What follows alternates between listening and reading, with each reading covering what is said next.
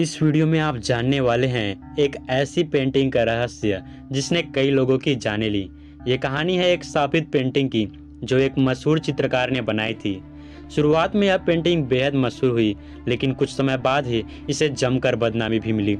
दरअसल ये तस्वीर कई हादसों की ज़िम्मेदारी मानी गई है। दोस्तों, कहते हैं कि ये पेंटिंग जिधर भी लगाई गई, वहाँ बुरी तरह तबाही मची। ये कहानी किसी मामूली चित्रकार द्वारा बनाई गई तस्वीर की नहीं, बल्कि इटली के मशहूर चित्रकार जियोवनी प्रागोलिन की बनाई पेंटिंग की है। भले आप इस पर बिलीव ना करें बट इस पेंटिंग में बहुत सी अजीबो गरीब जानकारी आपको इंटरनेट से मिलेंगे। पेंटर जीवानी ब्रागोलिन ने उन्नीस सौ पचासी में एक रोते हुए बच्ची की तस्वीर बनाई थी, जिसका नाम ही द क्राइंग बॉय था। आपकी जानकारी के लिए बता दें कि यह पेंटिंग ब्रागोलिन की सबसे अच्छी पेंटिंग में से एक मानी जाती है।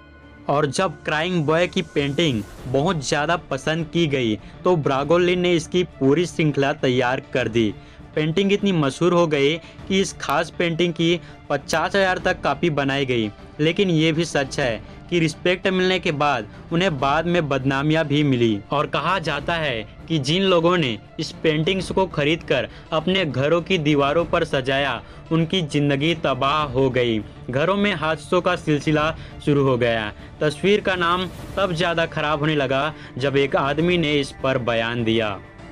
उस आदमी ने दावा किया कि वह करीब पंद्रह घरों में आग लगने पर अपने टीम के साथ गया। वह जिस भी घर में वे आग बुझाने जाते, वहाँ द क्राइंग बॉय पेंटिंग मिलती और उस आदमी का कहना था कि उस घर का सारा सामान जल जाता था, लेकिन सिर्फ़ यह पेंटिंग सही सलामत मिलती थी।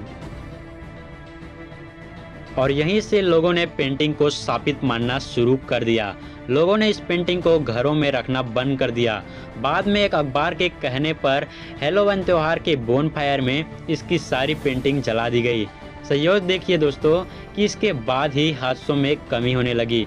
यानी लोगों ने मान लिया कि पेंटिंग वाकई स्थापित थी।